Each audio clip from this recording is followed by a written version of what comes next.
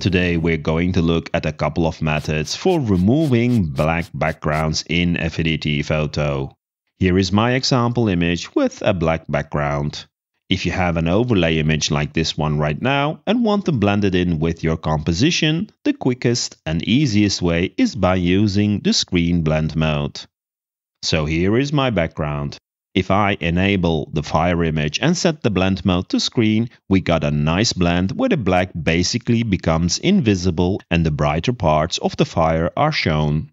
Depending on the situation, this might not always work. For example, if I change the background color to cyan, notice how the screen blend mode is not really working. Using the screen blend mode usually works well when you're overlaying a dark background. So how can we actually remove the blanks from the fire layer?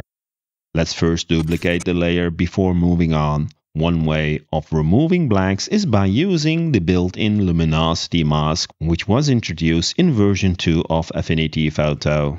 From the Layers panel, I can right-click on the mask button to open up the masking options. We can now select the luminosity range mask. The luminosity mask lets you create a mask based on the brightness of a layer. In simple terms, it uses the lightness or darkness in the image to make the mask. We can use the luminosity map in the dialog to decide what parts of the image to mask. The left side of the map represents the dark areas and the right side the light areas. By adjusting the curve to block the dark parts, we essentially mask out the black areas. You can really fine tune the curve to decide how much of the blacks you want to keep. Pretty cool. We can also achieve the same effect by using blend ranges. I'll make another duplicate and this time I'll open up the blend options by pressing the cog button in the layers panel. We can now adjust the source layer range curve similar to the luminosity mask map. And as you can see, the result of this is exactly the same as the luminosity mask. Even though these two methods work quite well, here are a couple of additional methods for removing black from an image. These take a bit more effort, but they do offer more flexibility and might also work better for some images. Let's take a look at them. I'll make two copies of the image layer and use a black and white adjustment to create a mask to remove the blacks. In the adjustment dialog, I will increase the sliders to max value, which basically makes all the colors white. Depending on your image, you can also adjust specific colors to get a better mask. For example, lowering the blues gets a better mask for this image. We need to clip the adjustment to the top image layer, which we can do by dragging and dropping it on the top image layer. As we are going to use this as a mask, I'm going to drag and drop this to the image layer below so that it becomes a child clip layer for the first copy. When we expand this first copy, we can see our black and white mask. Actually, it is not acting like a mask yet. An easy way of making sure this acts like a mask is by using the erase blend mode and then changing the blend range so that the whites are not being erased. Pretty awesome.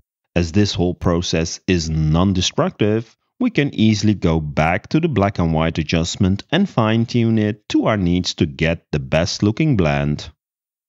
Here is a quick tip for you. To make the mask image fit better with the background, we can add a fill layer with the same color as the background and set its blend mode to luminosity, and then change the blend range of the fill to only apply to the darker areas. This will lighten up the dark transition areas to better fit with the background.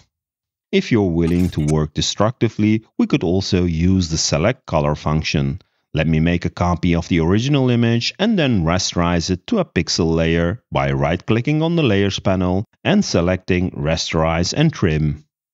Now that we have a pixel layer, we can use the Select Sampled Color menu item from the Select menu. Select the black area with your mouse and adjust the tolerance so that the blacks are all selected and press apply. With the selection active, we can now press the mask button in the channels panel to create a mask from the selection. As we had the black selected, the created mask will actually keep the blacks. We can select the mask and invert the mask by pressing Command or Ctrl I to invert the mask. Now the blacks are removed. As we have a mask to remove the blacks, we also now have the possibility to fine-tune the mask. For example, we can add a levels adjustment to the mask and make changes in the alpha channel to control the intensity of it. And here is the final technique using a procedural texture filter. After I made a copy of the original again, I will add the procedural texture filter to this copy. With a little bit of smart math on the alpha channel, we are able to remove the blacks. I already have a preset for this and will apply this preset. The use formula will be in the description. By default, this removes most of the blacks, but it does have some additional options to fine-tune it. I will not go into the details of this, but as you can see, by playing with the custom input values, we can get different options on how to remove the blacks from the layer. To wrap up, if you want to use an image with a black background as an overlay, the screen blend mode will usually do the job. However, sometimes this is not enough or it just might not work. In those cases, you can then use the other methods I shared. For example, in this case, I want the fire to be stronger. If I add the fire again in screen blend mode, it will become brighter and lose its intensity.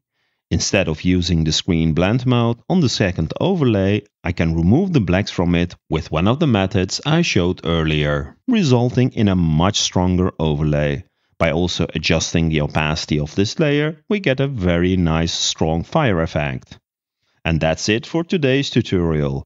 I hope you found these techniques helpful. If you enjoyed this video, please give it a thumbs up and subscribe to my channel for more Affinity tips and tricks. If you have questions or suggestions, leave them in the comments below. Thanks again for watching and I'll see you in the next video.